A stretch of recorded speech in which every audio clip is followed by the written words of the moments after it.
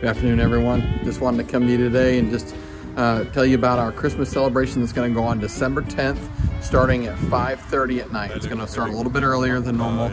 Uh, we've got to be out of here by 9 o'clock. We're actually going to be at the community center here in Baker, uh, at the Baker Arena.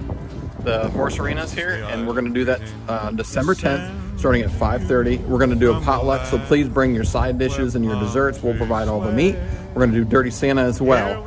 Um, each gift will be a maximum of $20, and you can either do one gift as a family or one gift individually. For whatever, however many gifts you get to bring, that's that's the tickets you'll get. We'll also have some amazing door prizes. we have got a lot of stuff to give out in door prizes, so please just join us uh, for a time of celebration in Christ. Uh, we just invite all of you to come with us, all you brothers and sisters, and look forward to a great time together. Love y'all.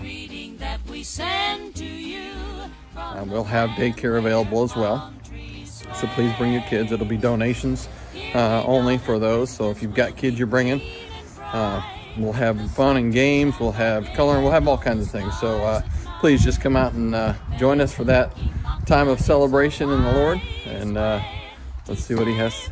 Let's see what He has for us. Love y'all.